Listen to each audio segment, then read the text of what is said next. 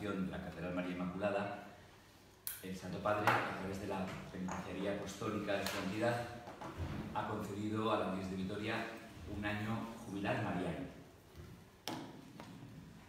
Jubilo es la raíz del adjetivo del año, es por tanto un año de fiesta, de gozo, para conmemorar algo. Ya sabéis, los años jubilares, por ejemplo, ordinarios cada 25 años por el nacimiento de Jesús, algunos extraordinarios como en el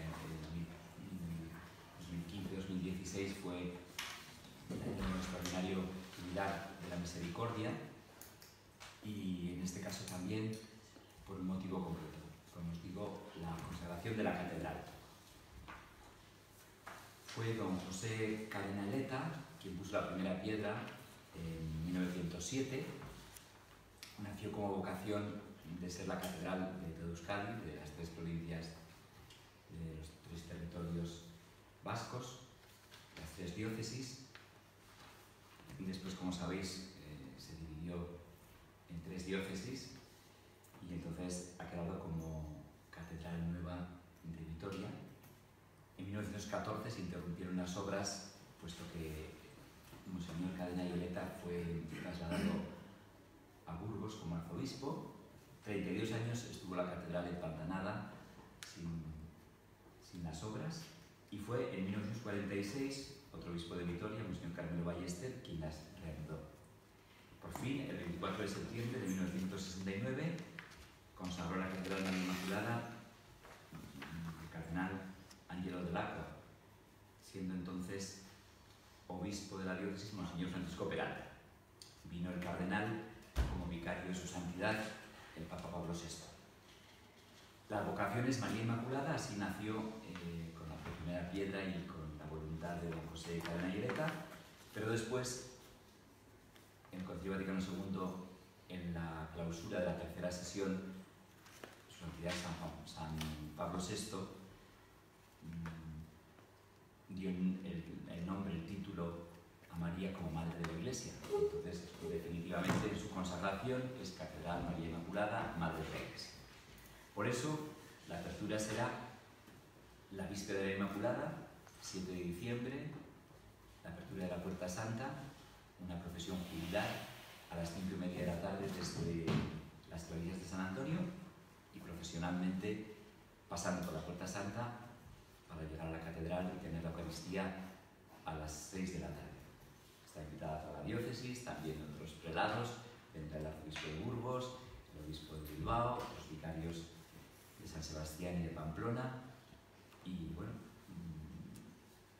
el proyecto es que durante todo el año, hasta el 2019, el Día de Inmaculada será la clausura, toda la diócesis peregrina hacia la catedral con la posibilidad de hacer la Eucaristía, el sacramento de la penitencia, empaparnos del arte de la misma y del Museo Diocesano que alberga la catedral, ocasión para comer juntos, para visitar la ciudad. Es un motivo de júbilo de lo que de alguna manera eh, supone la pertenencia a la Iglesia, a una familia, el redescubrimiento de realidades nuevas, la vida como vocación es uno de los aspectos principales de este, de este año jubilar.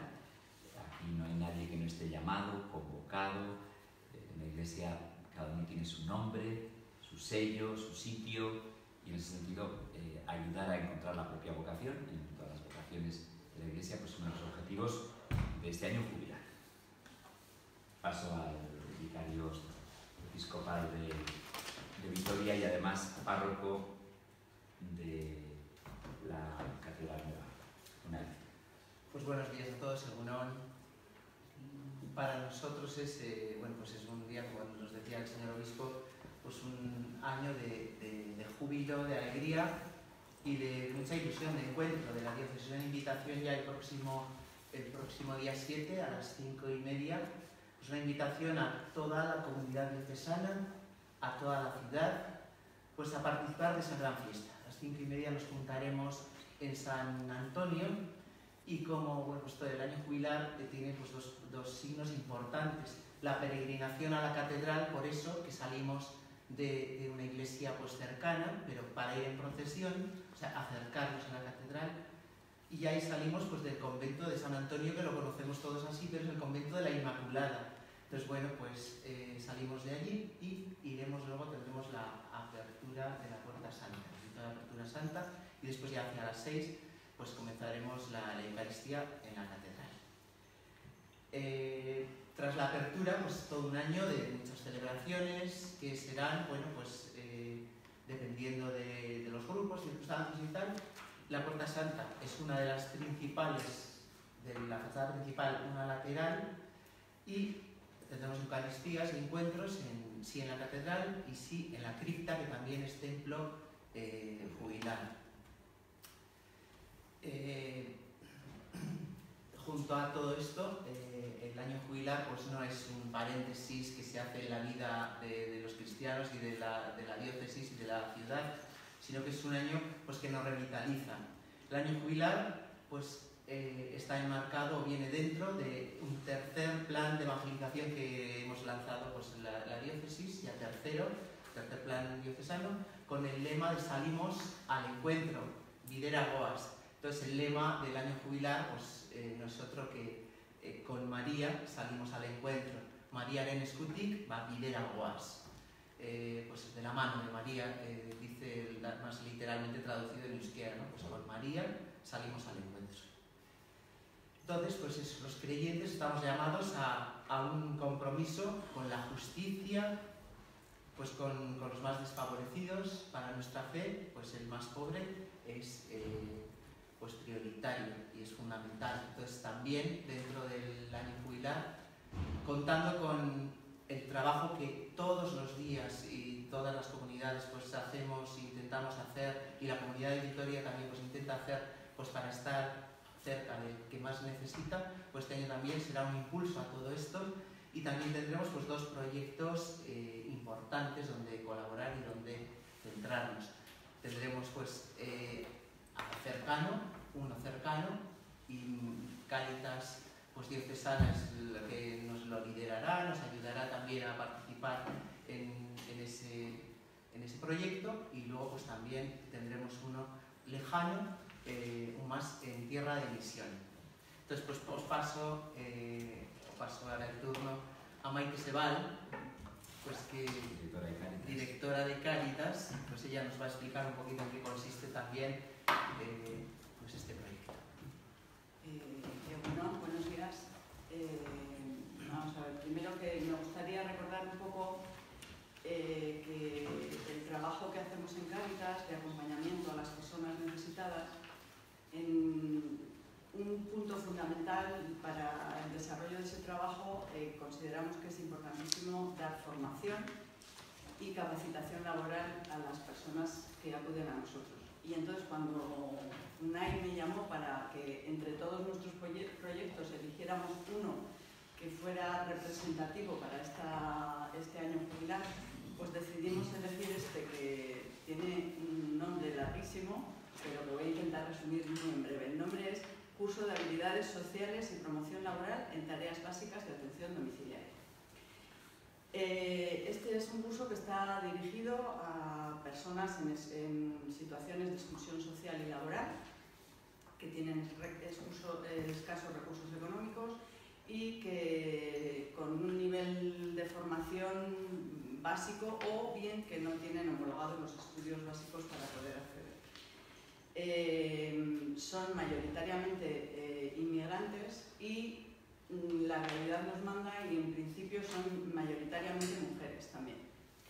Eh, sabemos que hay un colectivo de mujeres con una actitud y una sensibilidad especial para el cuidado y las tareas de personas mayores o personas con dependencias, pero que no pueden acceder a, este tipo de trabajos porque se necesita un certificado un certificado eh, que pasa por acudir, al, por ejemplo, al N2 de la AMBIDE, de atención sociosanitaria, y, y, al no poder acudir, pues no pueden ejercer. Entonces, eh, los impedimentos son por temas formativos, evidentemente, pero también por problemas, por barreras de lenguaje, por problemas de diferencias sociales y culturales.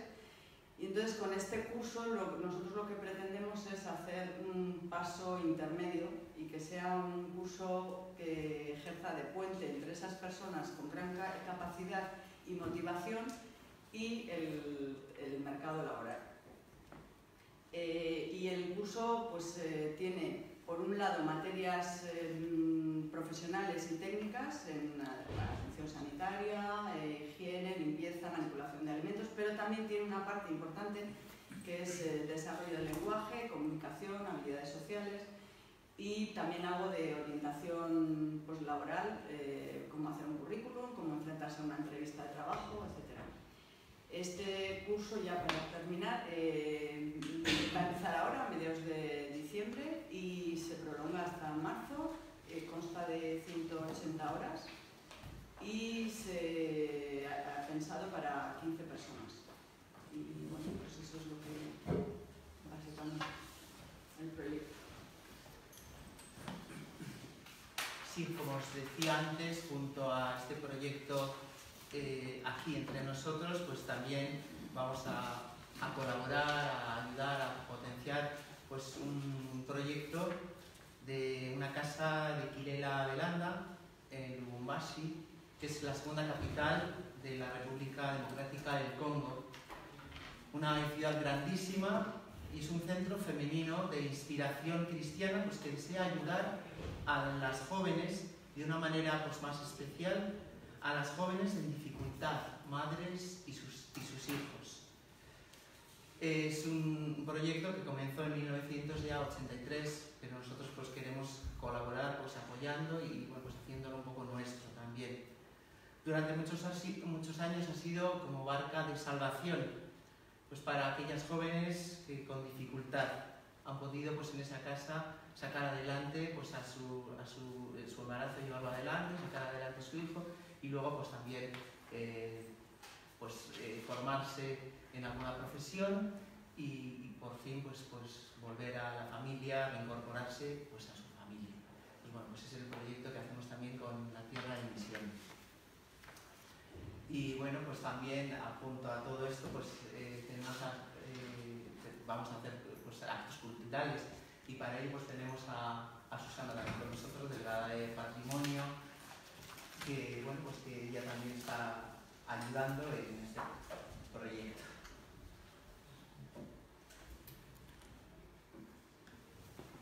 Hola a todos, bienvenidos.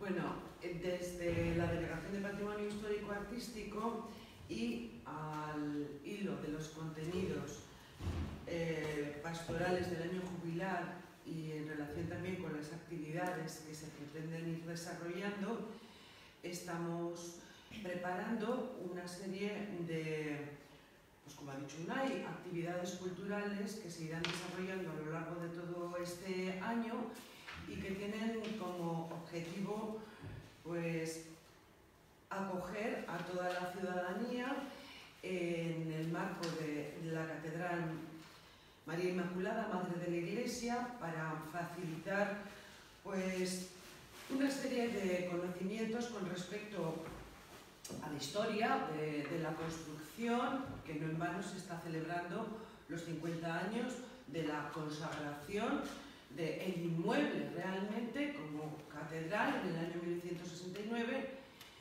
y eh, también aprovechando mm, pues, la colección mm, muy, muy notable, en algunos casos sobresaliente, del Museo Diocesano de Arte Sacro utilizar una serie de obras artísticas que allí están expuestas, va a haber también algunos cambios, ahora mismo se está cambiando una obra eh, importante que sale a la catedral, eh, del museo a la catedral, y aprovechar, como digo, una serie de, de piezas para llevar a cabo pues, una visita especial del año jubilar.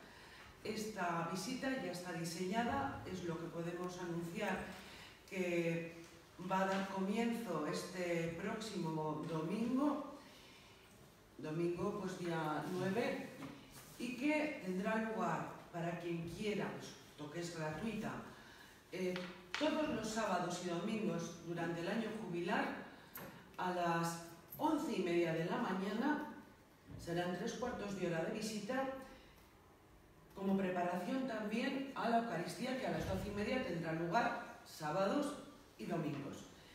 Esto ya mmm, en marcha, ¿eh? o sea que os invito a que en breve pues, podáis hacerla. Hay un tope de personas, puesto que la visita recorre evidentemente las naves de la catedral, eh, se habla de el año jubilar, evidentemente, en la acogida, pero sobre todo a lo largo de las naves, de lo que es una catedral, se va hasta la Puerta Santa, eh, se habla de la sede, que la sede del obispo es mm, la presencia realmente de, de la iglesia en un territorio histórico y a partir de ahí se entra en el museo. Por lo tanto, tiene que haber un número concreto. El museo no puede entrar un grupo grande, entre 25 y 30 personas. Para lo cual, las personas interesadas pues, pueden eh, apuntarse en la dirección de correo, en el email, que creo que en la nota de prensa ya lo tenéis, info eh, arroba jubileomarianovitoria.org. Y bueno, pues hay grupos más grandes porque tiene una cifra estable, en fin, desdoblaríamos la visita. Entonces tenemos una visita especial del año jubilar, mmm, enlazando con los contenidos pastorales del mismo, pero utilizando la materialidad eh, física, bueno, histórica y de interés artístico de la propia concatedral de, de María Inmaculada, sábados y domingos a las once y media, tres cuartos de hora, antes de comenzar la, la Eucaristía. Por otro lado, esto ya eh, pues sería una cosa puntual, formaría parte de un calendario pues, que se irá enriqueciendo a lo largo de, del año. Eh, se va a producir un concierto el día 13 de diciembre, a las 7 de la tarde. Y bueno, va a ser a favor de una ONG, de la Orden de los Hospitalarios de San Juan de Dios. Y eh, bueno, pues eh, será un grupo de voces eh, graves de Mondragón. Pero bueno, simplemente un anuncio eh, de cara a los próximos días, la, la apertura de la Puerta Santa, habrá más conciertos, o sea, la actividad, digamos, cultural es las visitas, estas continuas, una serie de conciertos que se irán anunciando convenientemente. Y yo sí que quería, bueno, pues sí, también eh, algo que yo creo que va a ser importante porque va a mantenerse durante, mm, bueno, pues gran parte del año jubilar, incluso después, es la exposición que estamos organizando para ubicarse en la gran vitrina de la cocatedral, esa vitrina que tiene 30 metros de longitud, y ahora está ocupada por una serie de ornamentos textiles y esa exposición mmm, que queremos inaugurar para la primavera-verano del año jubilar mariano, pues va a contener a través, eh, bueno, va a contener una serie de materiales que van a ir desde mmm, material fotográfico eh, nunca expuesto de la propia historia y sobre todo de la consagración de la catedral, hasta planos también originales que no se han expuesto tampoco nunca, vinilos y una serie de objetos artísticos que tienen que ver, esto sí, sobre todo con las dos advocaciones, María Inmaculada, Madre de la Iglesia, y esperamos que resulte no solamente estéticamente bella, sino también desde el punto de vista de, del contenido. Y finalmente, ya no puedo adelantar nada más, ¿eh? Eh, habéis visto por aquí, bueno, habéis visto, ahora se ha trasladado. Una, una caja eh, que tiene, bueno, pues el logotipo, el color, en fin, de, de este año jubilar mariano.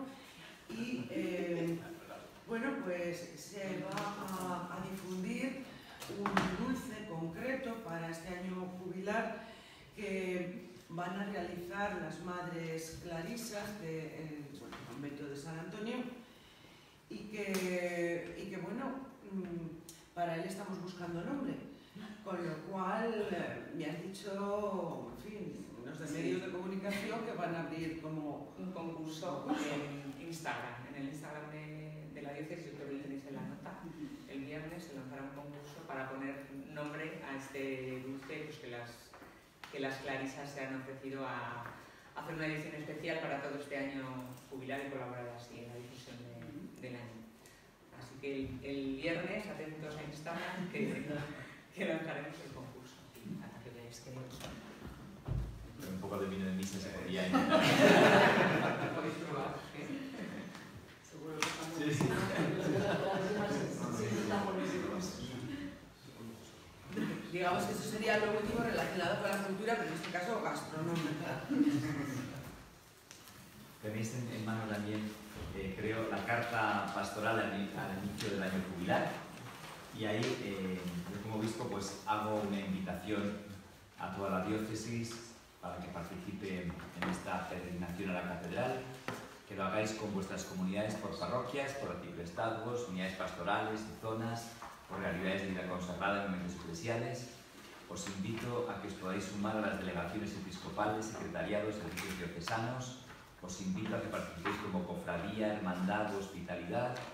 Invito con especial esperanza a vosotros los jóvenes que maduráis en centros de educación, muchos de ellos vinculados a congregaciones religiosas y realidades diocesanas. Os invito con especial cariño a las personas más vulnerables de nuestras comunidades en vuestra condición inmigración, paro, enfermedad edad avanzada. Incluso desde vuestra propia casa os podéis unir a este jubileo. Nuestra tierra es rica en asociaciones de carácter civil que humanizan y enriquecen nuestra convivencia. Todas tenéis abiertas de par en par las puertas de la Catedral de María Inmaculada, Madre de la Iglesia. Es decir, es una invitación general a la, a la, a la diócesis y a la sociedad alavesa y poco a poco el calendario eh, lo tenéis en la web de la diócesis, el calendario del jubileo irá poblándose. ¿no? Por ejemplo, eh, lo más inmediato será el jubileo de las familias el domingo después de Navidad, se celebra universalmente en la iglesia el domingo de la Sagrada Familia. Entonces, ese domingo, la misa de las doce y media, con los eventos que le rodean, será el jubileo de las familias. Y bueno, lo que trata el jubileo mariano es de dar cancha, participación ocasión de crecimiento a todas las realidades humanas y eclesiales que tenemos. Por tanto, si queréis hacer una pregunta eh, de esto o en general de la diócesis, pues, pues adelante. Yo poco preguntarle precisamente por ese lema, salir al encuentro en este año jubilar, si nos puedes desarrollar un poquito, salir al encuentro de quién, por qué se ha escogido esa idea, para qué. Sí, bueno, eh, surgió en el Consejo Pastoral. El Consejo Pastoral ha sido motor del plan pastoral, el tercer plan pastoral diocesano. Y, viendo la realidad de la diócesis, eh, queremos ser una iglesia samaritana en salida con la identidad que el Papa Francisco está marcando. Eh, no vuelta sobre sí misma, en contacto con la sociedad, eh, creando continuamente puentes. Entonces, claro, esto habla de, salir de nosotros mismos. El Papa dice, prefiero una iglesia accidentada a una iglesia enferma y cerrada. Pues en esa línea, salir, salir eh, al encuentro de quien más lo necesita y, creando los posibles puentes que puedan estar rotos o, estropeados con realidades humanas, sociales de, de, nuestra, de, nuestra, nuestra tierra.